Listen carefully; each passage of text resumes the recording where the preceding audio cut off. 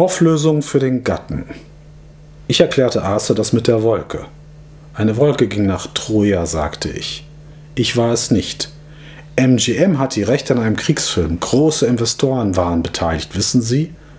Ist nicht jeder Krieg ein Film, der auf einer solchen Wolke basiert? Geht es nicht immer im Zentrum ein, um ein Phantasma, um das gekämpft wird? Miller erkennt den Fake und geht in Flammen auf. Jemand löscht ihn mit ihrem Bademantel. Danach muss er erkennen, dass sich seine Frau in Luft aufgelöst hat. Er war mit einer Wolke liiert. Er hat für eine Wolke gekämpft. Dann erfolgt einer der schärfsten Angriffe in dem Text, so gezielt und unmissverständlich, dass auch an dieser Stelle die Mythologisierung des Filmstars, die vor dem Privatleben noch nie Halt gemacht hat, vollends ins Auge stechen muss.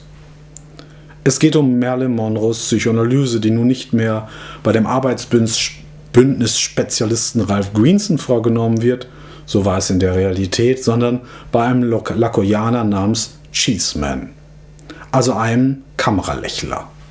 Norma Jean erklärte ihm, dass Arthur Millers Grübchen am Po keinerlei erotische Anziehungskraft auf sie hätten und auch Miller habe keinerlei erotische Ausstrahlung auf sie. Das war kurz nach ihrer Eheschließung in New York und Miller erhoffte sich seinerzeit Nachwuchs von ihr.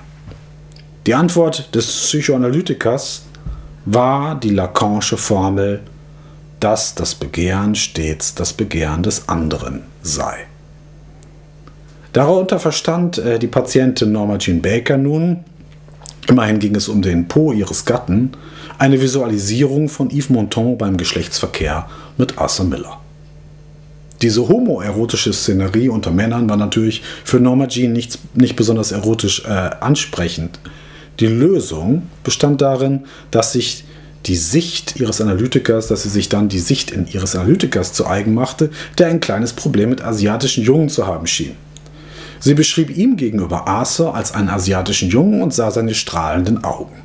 Dieser Blick auf ihren Gatten, den brauchte sie nur zu übernehmen, und schon hatte das Begehren des anderen ihr eigenes Begehren entflammt. Das Begehren des Analytikers konnte sie, durch ihre, konnte sie durch diese Finte zu eigen machen, während seine Erklärung und seine eigenen Rekonstruktionen ihres Begehrens fehlschlugen. Komplex ist das Begehren, weil es in der Rivalität mit dem anderen tritt. Das hat Lacan immer so gesehen. Und. Ne.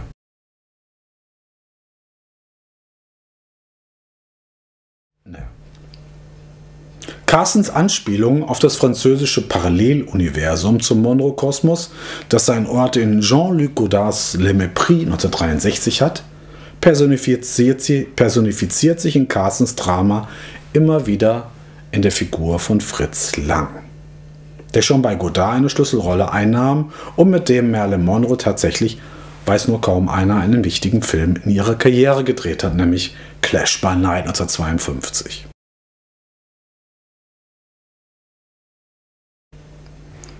Dieser Fritz Lang-Film wird selten gezeigt und auch in dem Kontext der Monroe-Rezeption geht er weitgehend unter.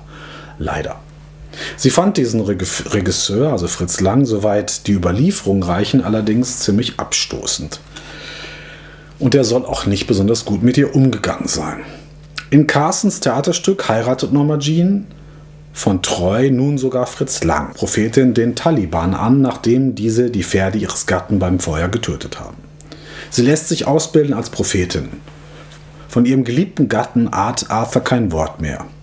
Und diese Parallelität, also dieser Übergang von Arthur Miller zu, dem, zu einer geträumten Liaison mit dem grauenhaften Filmregisseur Fritz Lang, zumindest so die Überlieferung, der stellt sich auch in Godards Film ein, nämlich in Le Mépris gibt es, eine, gibt es ja diese Szenerie, wo die Sexikone Brigitte Bardot ähm, von ihrem Ehemann, der Drehbuchautor ist, also Michel Piccoli, verschachert wird an den Filmproduzenten. Und, daraufhin stellt sich eben ihre Verachtung ein, die den, dem Film ja den Titel gegeben hat.